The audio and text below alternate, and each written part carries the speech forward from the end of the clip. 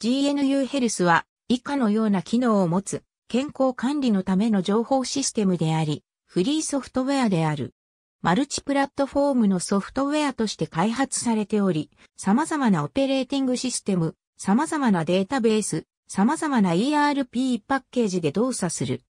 GNU ヘルスは2008年にルイス・ファルコンが人口の少ない地域での健康維持の啓発活動のために開発したメディカルというソフトウェアが元になっている。複数の分野、国にまたがる貢献者による開発チームが結成され、病院情報システム機能が実装された。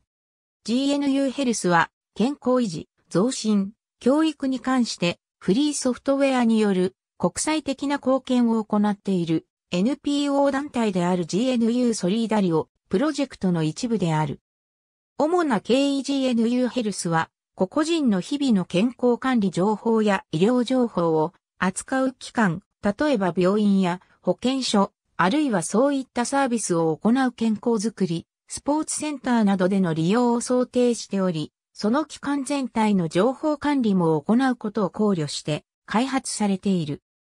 GNU ヘルスを利用することによって、プライマリヘルスケアや病歴、検査結果、診療カルテといった患者情報、医薬品の情報、検査室や医師の管理、医学的レポートの作成、請求などの財務管理といった処理が可能で、医療機関のペーパーレス化ができる。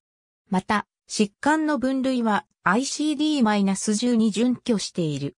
ソフトウェアとしては、カーネルと呼ばれる中核系モジュールに付加する機能ごとのモジュールを追加する形式をとっている。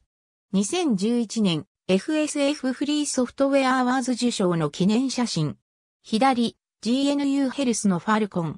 右、FSF のストールマン。GNU ヘルスは、米国フリーソフトウェア財団による2011年度のフリーソフトウェアアワーズを受賞した。ありがとうございます。